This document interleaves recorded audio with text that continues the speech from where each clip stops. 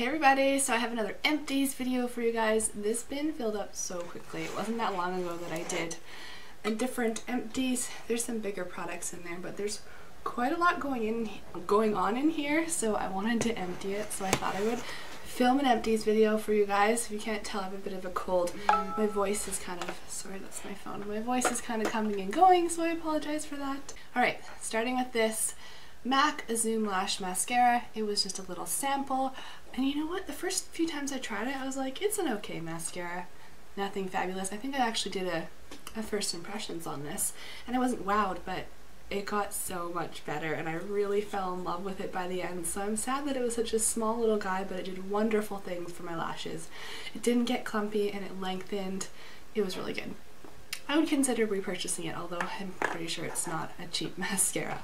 Alright, this is the Clump Crusher by Lash Blast, the CoverGirl one. I've purchased a few of these. It's really good for separating clumped lashes, and I especially like it for the lower lash line because it's just very subtle and doesn't kind of get all over your face.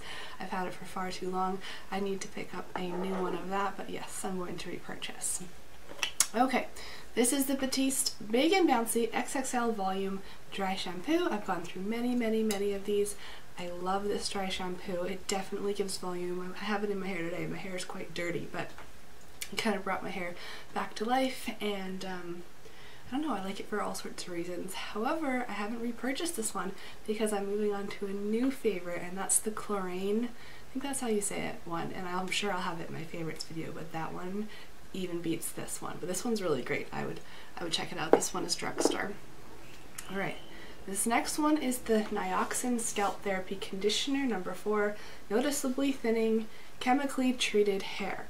I bought this before I got pregnant with Cassidy, a ways before I got pregnant with Cassidy. Um, it's to help with hair loss and hair regrowth and things like that because I have really crappy hair, um, so I wanted to try out this brand. I think I had the shampoo too. And then when I got pregnant, I decided to discontinue using it because I wasn't exactly sure how great the chemicals were in this. Um, but I just decided to finish it up because like I've said before, I'm going through all the stuff in my cabinets. I'm trying to finish up or throw out things that I don't want just to I don't know, clear out. I hate holding on to products. So I finished it up. It's um it's a good conditioner. I mean it's it's pretty hydrating and it's the thing about that is you're supposed to put it up to your scalp and it gets a bit tingly to like promote the hair growth which is great but I don't like having conditioner so high up in my hair because I feel like it makes my hair oily faster. So I like the shampoo but the conditioner not my favorite. I would not repurchase. Okay this is the Alba Botanica Hawaiian facial scrub pore purifying pineapple enzyme. It's a facial scrub. I had it in my shower I actually had another one because this one came broken in the mail. I got it from Vitacost and they just shipped me a new one, so that's awesome. I love Alba Botanica. It's some of my favorite skincare products. Um, this one, you know, it smelled really good and it cleaned well, but I like more grit. So if you're looking for a really gritty facial scrub, I wouldn't recommend this one because it was more of a subtle grip, but grip, grit. But uh, if you like subtle grit, then this is great. It's like an all-natural brand, so I liked it. Alright, this next one interesting. I have I used to do this for a long time and have been doing it for a long time and then I just I think I forgot about where my coconut oil was so I hadn't been doing it in a while. But this is the Trader Joe's Orga organic virgin coconut oil. And I use this for lots of things like on my face and makeup remover and whatnot but I was using it as a hair mask for a long time and never really had any issues. But I was like I need to finish this guy up. So I've used it twice in the past I don't know, a couple weeks. I don't I don't use it very often, but I did use it twice, and both times, even though I made sure to stay on the ends of my hair and not let it travel up, and I rinsed it out really, really thoroughly afterwards, it stayed in my hair forever, and it looked like I had greasy hair. Even after, I want to say two washes, like I don't wash my hair every day, but I had to, and like two days later, it still looked like my hair was way down and super greasy. So I don't know what the deal is with this. I guess I can't, my hair can't handle it anymore. It also contributed to the crazy neck breakout, breakoutages that I have going on. So sadly, this has not been working well for me. It's a really hydrating hair mask if you want to try it out that way, but for whatever reason, my fine hair could not handle it. Alright, this I got in an Ipsy. This is the Be Fine Food Skincare Cucumber facial mask and I used the whole thing up, pardon me sniffing, and I liked it. It was okay. It's one of these facial masks, it does dry to your face, but I feel like it's gentle enough to use every day. I don't feel like it was incredibly detoxifying or harsh on my skin so it was a good everyday one if you wanted to use it every day. I mixed it up with some other products so what is this? The Pura d'Or Argan Oil Body Hair and Face Treatment. This is almost full. It's an argan oil. I don't like putting argan oil on my face so I wouldn't use it for that. I like it in my hair but this one is just too heavy. Similar to the coconut oil even the smallest amount will just grease up my hair instantly. So I'm getting rid of it because there's no point in hanging on to it. This is the body wash that I've been using forever. This lasted a long time. Again from Vitacost.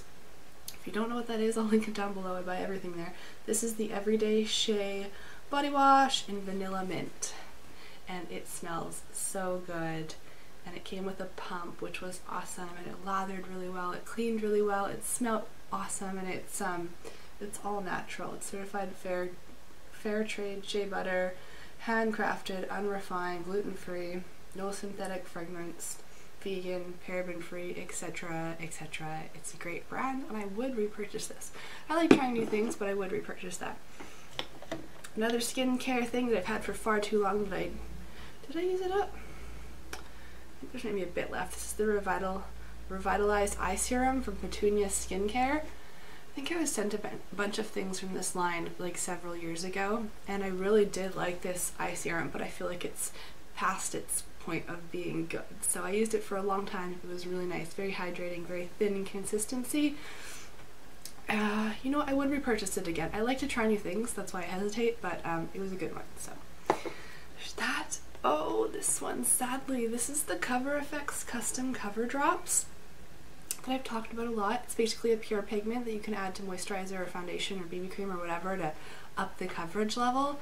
This is fantastic. I would repurchase. The only downside is I think I've had it for a year, which isn't too bad, but it got all like goopy. I don't know if you can see on the wand there. It got all thick and goopy and like I feel like there's still quite a bit of product on there, but it just became this like thick paste that's no longer able to come out with the dropper. I'm wondering actually if I could thin it out with something so that I could get the rest of it because it just became too thick to use but I liked it enough to repurchase, so that's definitely a win. This is the Jules and Esther Facial Serum. Vitamin C came in an Ipsy. Didn't like it. Um, nothing, there's nothing good about it. It wasn't bad, I just didn't like it and I don't want to hold on to things that I don't like. Maybe I'll try and give that away. And then this is the Rapid Lash XL Eyelash and Eyebrow Enhancing Serum. I had high hope for this. I think I got this for Christmas last year. Maybe my birthday. Yeah, I think in my birthday in February. And I used it religiously for a good three months. And I did see my eyelashes start to grow, but I didn't see that growth till at least the two month mark. So it took quite a lot of effort if you're willing to take the effort. This wasn't too expensive. I think this was at Costco.